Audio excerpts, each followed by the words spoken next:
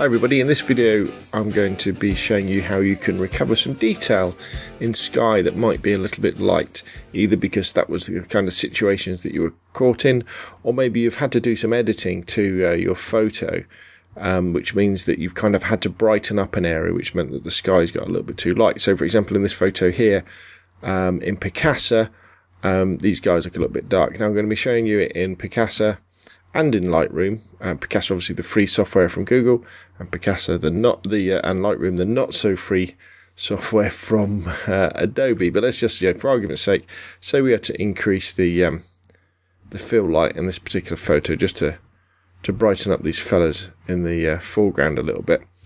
Then to darken the sky, what we could do is we could just hit on the um, third tab from the left, and what you want is the graduated filter.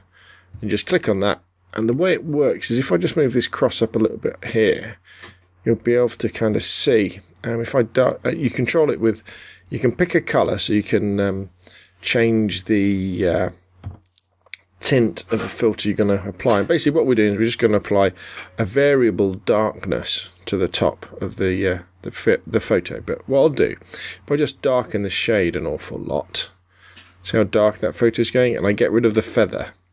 So there's no basically we're adding this to the photo and the feather changes the softness of the transition. And kind of spreads it around and the shade tells us how dark it would go. And then the cross puts us where we're going to apply it to. Now this is a great example of where you have to be careful with this sort of um, graduated neutral density effect because we've got this pole here which is suddenly getting very very dark at the top and light at the bottom which can be very distracting. But if we lighten off the shade a little bit like so, make the feather really powerful. All of a sudden, we've got a fair bit of details returned to the sky, makes the photo look uh, definitely a lot more colourful and not as boring. Now let's skip across the Lightroom where we've got the same photo. Again, you know, let's say we had the same thing. Say we wanted to bump up the exposure a little bit so we can see these fellas a little bit better. What we could do in Lightroom is actually we could have a go at recovering the highlights as well. Over in the sort of basic panel over here, we could slide the highlights recovery over to the left, see what happened. We could even back off the whites a little bit so they weren't quite as bright. But it's again, it's not really doing anything. So what we want to do is apply a graduated filter to the sky to darken it down a bit. Again, it's dead easy. Just click on the graduated filter near the top of the screen here.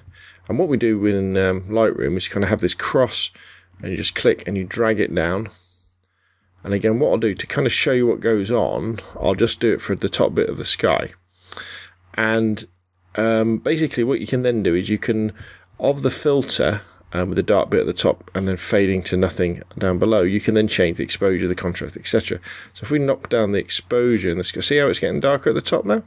See how it kind of fades through.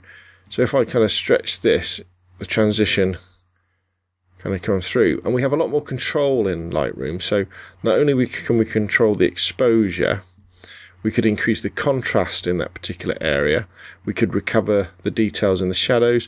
We'd inc- increase the clarity so that we could see more details in any clouds are there. Again, we can change the sharpness and the noise and control all those things um, independently. So let's just drag this down a little bit, probably to something like that. So maybe a little bit further. And let's just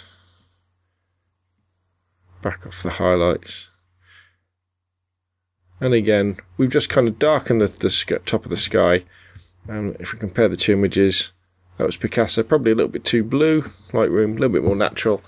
Um, and again, as you can see, we recover some detail in the sky, makes the photo look a bit little, little bit more interesting. But again, watch out for things like poles, because they're going to darken too.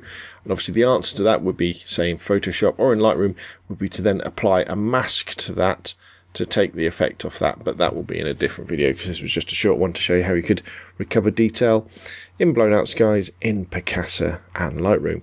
My name is Rob from robnunnphoto.com. Thanks for watching, and I'll see you again soon.